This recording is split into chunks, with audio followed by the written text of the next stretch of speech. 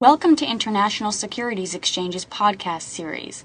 Facilitated by renowned educators, ISE podcasts are intended to teach beginning as well as seasoned investors the ins and outs of trading. To find an updated list of podcasts, please visit www.ise.com/podcasts. Please be sure to listen to our important message following this episode regarding the risks of investing in exchange traded options. Okay? Why? When deciding between calls and put, it's not just the delta that matter. If a trader sells an option and the IV increases, okay, even if the underlying falls, Vega may overpower any gain in delta. Likewise, a put may have unexpected positive returns. Okay? So here's another example of EUU. All right. I could ask if I wanted to be, if I wanted a larger, uh, uh, uh, I'll work on it, Mark, sorry. All right. On 11.5, a trader thinks the U.S. dollar is going to increase again against the euro. That needs to say against the euro. Okay? Based on the IV chart, should the trader buy an EUU put or sell an EUU call? Okay? What do you guys think? Should the trader buy an EUU put or sell an EUU call based solely on the volatility?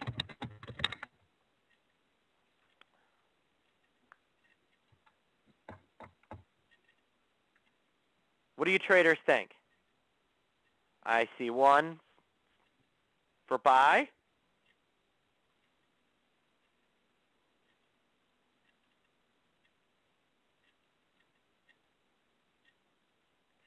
Anybody else?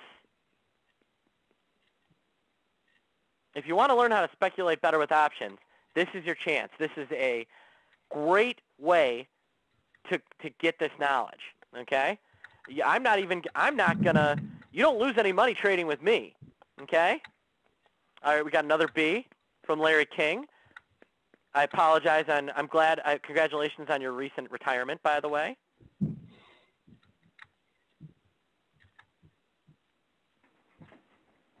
All right, we see a buy put. All right, so the answer is probably buying a put makes the most sense. And again, the reason being is that, you know, this volatility, you know, I actually showed you what was happening here. This volatility increases. The trader should have bought a put. Okay? Yeah, wait, wait. Okay? All right. I mean, you can clearly see what happens here. All right. this put, you buying this cheap vol, you get this big spike in volatility. Let me uh, erase that out. You get this big spike in volatility, plus you get a big drop in the price. You make an absolute, by the time you get here, the put purchase just did so well. All right, th- this would have been just a spectacular purchase. Okay, relative to selling the call. Selling the call wins. It clearly wins, but not in the same way that buying the put wins. All right, you took advantage of buying that cheap volatility. Okay? Now, here's another one. If I was bullish on 11-1, okay, what trade would make the most sense? If I'm bullish, if I think the YUK, if I think that uh, the YUK is going to go up, which means the dollar is going to increase against the yen, then what would I uh, what would I want to do on 11-1, which is right around here?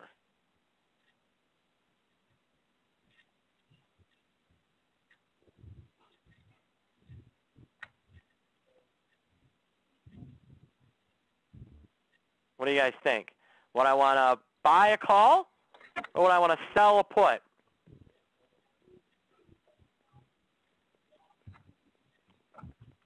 I see one for sell put. I See a couple. All right, good. Yeah, I would I would tend to agree with that. I think selling a put makes the most sense. Let's take a look at our chart. Okay? You know, we sell our put and that vol really does drop for us.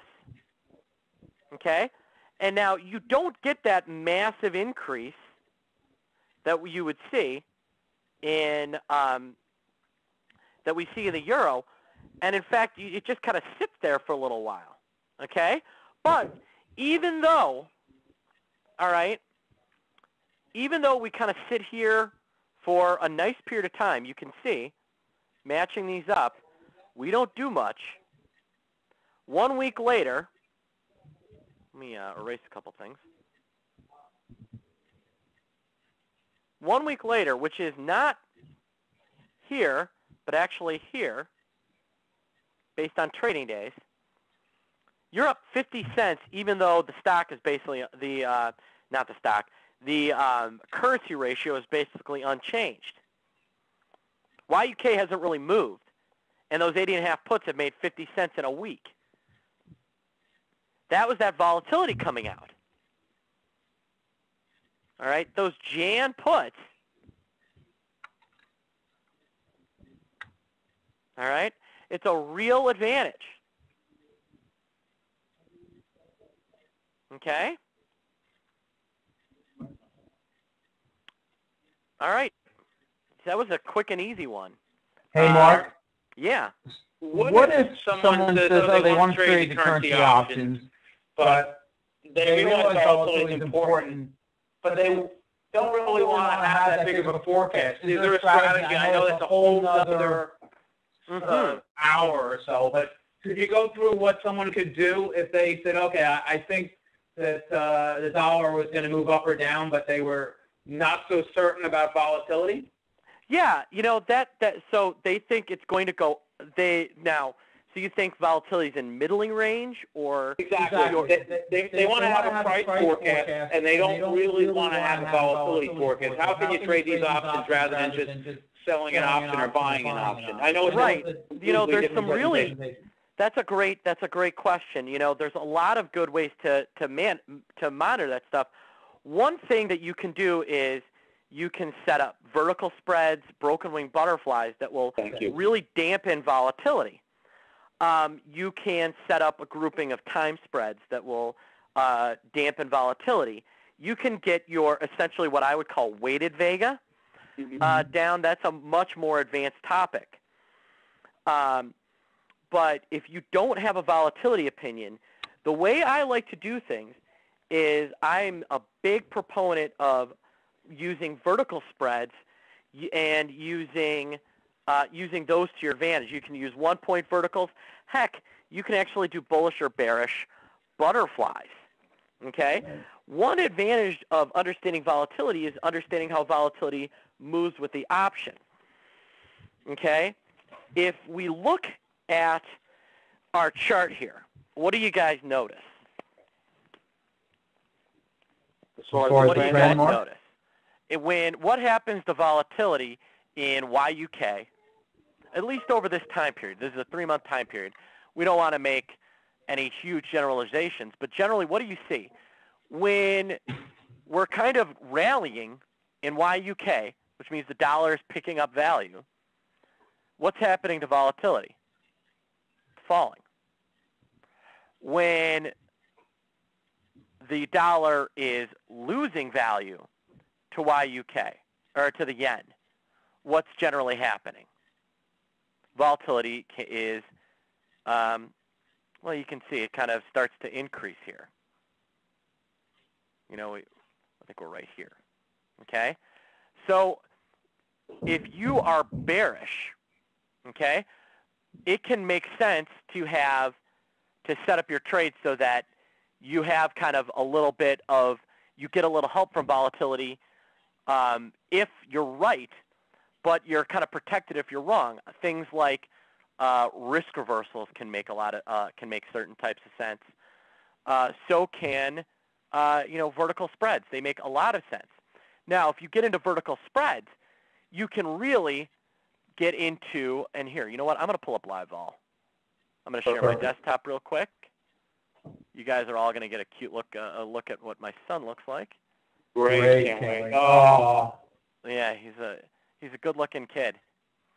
Uh, obviously, he takes after his uh, exactly his mother, who is uh, unbelievably good-looking and within earshot.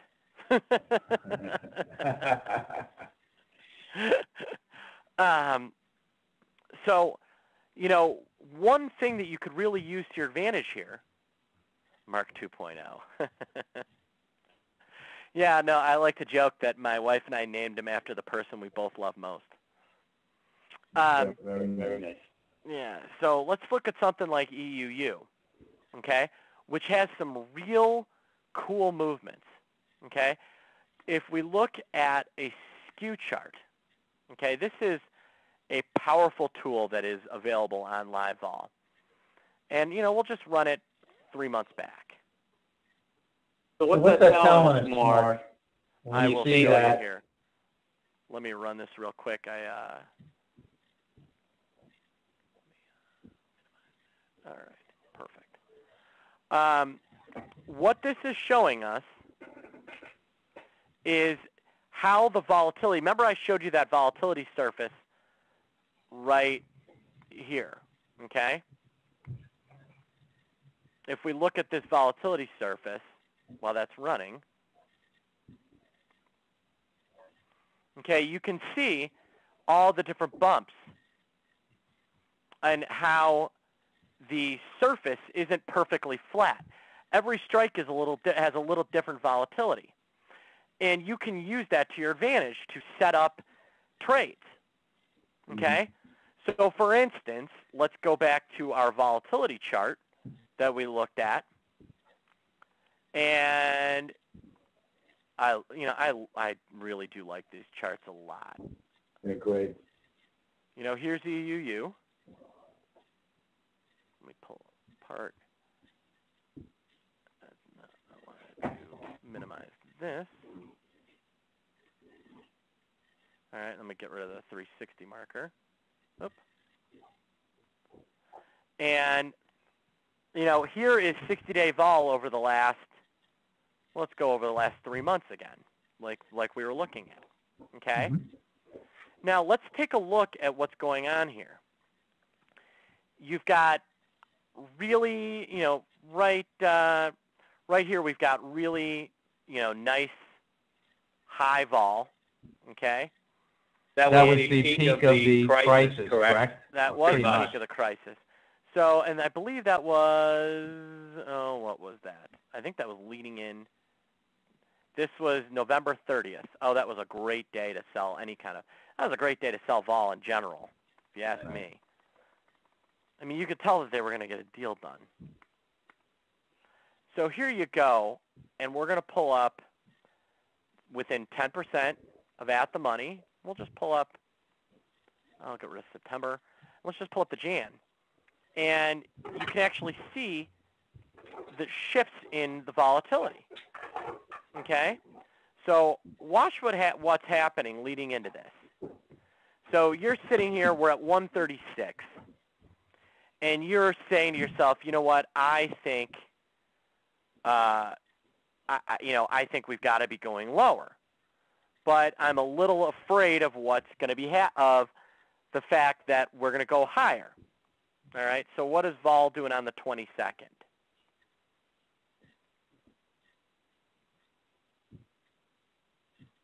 We're at and at the same and 60-day vol is on its absolute low end.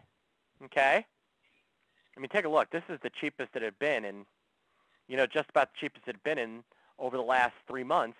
And even if you look at a year, let me go down to that that uh, that 22nd.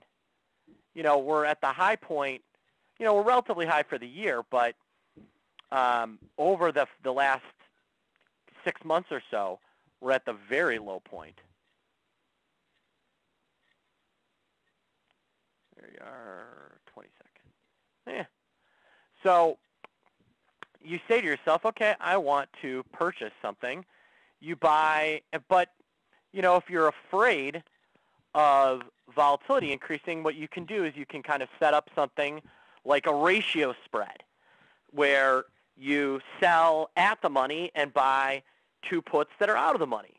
Or mm-hmm. you can, and you can see, what if we'd sold the 136s at 280 and bought two of the one, oh, oh, we want the puts. So we sell two of those at 280, and then we buy two of the 134s. Oh, well, let me find the 130. Oh, we can even do the 133s. Let's go crazy. We'll do the 133s. At uh, 165, so you pay 50 cents for the ratio spread. How's that ratio spread looking now? Well, let's do some math here. Vol is way up, okay? Our 136s that we sold, as we've moved away from those, their vol's probably held in a little better than uh, their vol's probably not increased as much as our as our upside. So the put we're trading. I'm gonna do I'm gonna do a synthetic for you folks here. The call is trading about 80 cents. We're trading $6.17 in the money. So the put's at $7. Okay? Give or take a little interest there. Mm-hmm. How's that for a synthetic? Perfect. Yeah. Now you've got your 133s. The calls are trading 160. Okay? They are $3.17 in the money. 160 plus 317 is 477. 477 times 2 is $9.64. So we made that ratio spread went from 50 cents to $2.64. You made 2 bucks because you bet that if you were right on your direction, that volatility would also go with you. Okay? Mm-hmm boy, I still got it. I have not done that type of stuff in years. That's not true. so, um, so yeah, you know, th- that's really what you can do. It, it's not even. So there, we took kind of a a relatively Vega neutral approach to to the trade, but we were betting that vol would go in our favor if we were right. Okay.